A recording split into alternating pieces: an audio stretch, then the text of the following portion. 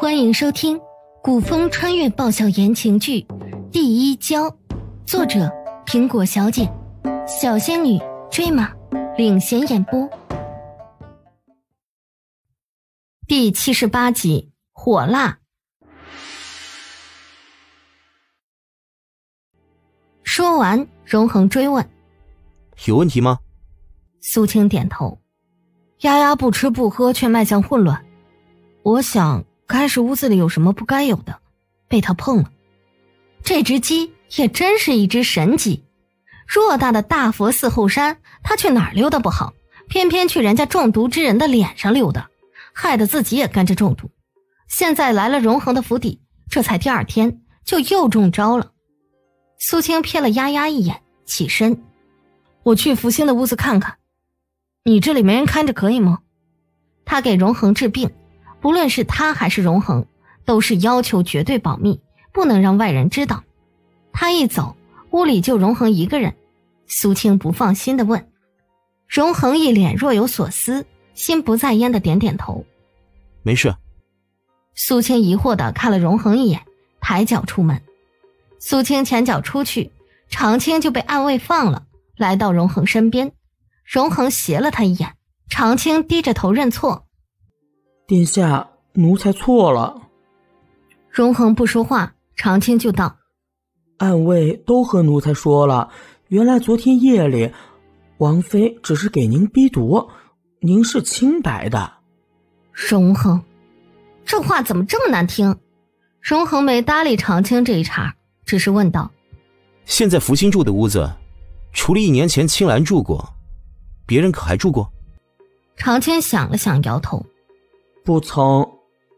荣恒的院子，因为荣恒的要求，没有他的允许，不许旁人随意进出。府中的魑魅势力虽然多，可这一点大家却都谨记。毕竟人家是皇子，认真闹起来，不是他们奴才可以比的。可现在苏青说那屋子可能有问题。福星住进去之前，屋子一直锁着吗？荣恒再次确认，长青点头。嗯。上次青兰小姐走了，奴才亲自监督丫鬟收拾了，就落了锁，钥匙一直在奴才这里。顿了一下，长青继续：“那锁奴才做了点小记号，若是有人动过，奴才能敲得出来。奴才肯定没人擅自开锁，直到王妃进府，福星住进去之后，有没有别人进去，奴才就没注意了。”说完。长青看着荣恒问道：“怎么了，殿下？”荣恒目光微深，没有回答。空气一时间静默下来。长青倒了杯茶：“哎，殿下，喝点水吧，出了一头汗。”才要端茶过去，原来隐藏的暗卫忽然现身，吓了长青一跳。“哎，你要不要把神出鬼没贯彻的这么到底？吓死我了！”长青翻了个白眼儿。暗卫没理长青，朝荣恒回禀：“殿下，宫里派了御医，正由下人领着过来。”长青顿时端着茶盏的手一颤，茶水溅出了手背。殿下由王妃治病，这绝对不能让外人知道。奴才去拦住他，就说殿下睡了。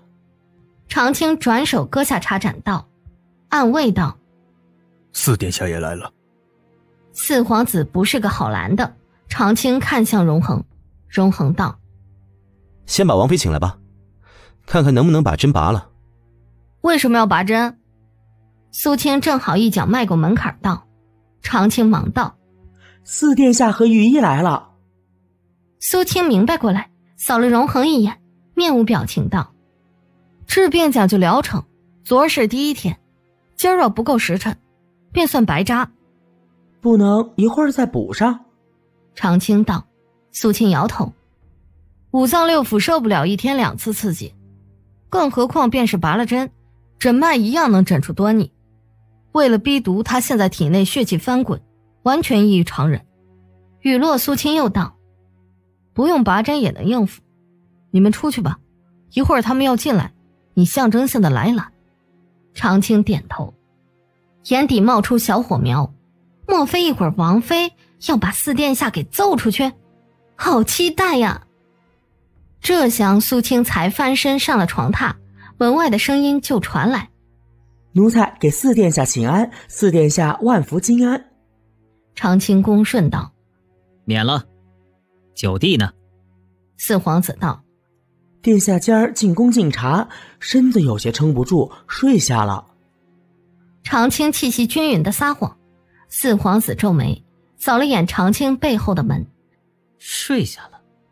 该不会又病得重了吧？今儿宫里的事，本王听说了。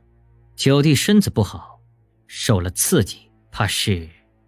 四皇子满目真诚。父皇怕九弟有什么不好，特意让本王带了太医来给九弟瞧瞧。长青恭敬道：“要不明儿再瞧？现在殿下睡下了，万一再起来受了夜风。”屋里，苏青颤了颤嘴角。现在不过才刚刚用过晚膳半个多时辰，就夜风，呵呵。既然九弟睡下了，就让太医整个脉便好。太医动作轻柔些，不会打扰到九弟歇息的。本王也好回去跟父皇回禀，免得父王彻夜担心。四皇子说的滴水不漏，这话长青就赌不回去了。人家只是诊个脉，手指搭一下手腕的事儿。的确是影响不了休息，可王妃也在。长青做最后的努力。哎，你们也知道我家王妃的性子。这话一出，太医立刻就怂了，朝四皇子看了一眼。要不明儿吧？四皇子却道：“哼，只是给九弟诊脉，先可帷幔一条缝便可，看不到九弟妹的。”再者，为了九弟的身体，九弟妹也会体谅的。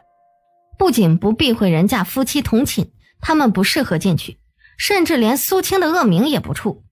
四皇子坚持，太医就没再说什么，无奈的吁了一口气。长青身子让开，唉，好吧，不过一定要小心。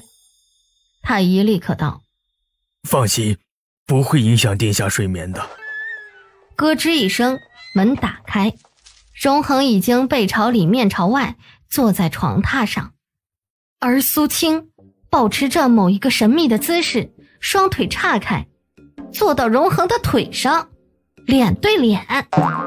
门打开的一瞬，苏青手指沾了一点手边茶盏的茶水，往额头上抹了许多，做出一副大汗淋漓的样子。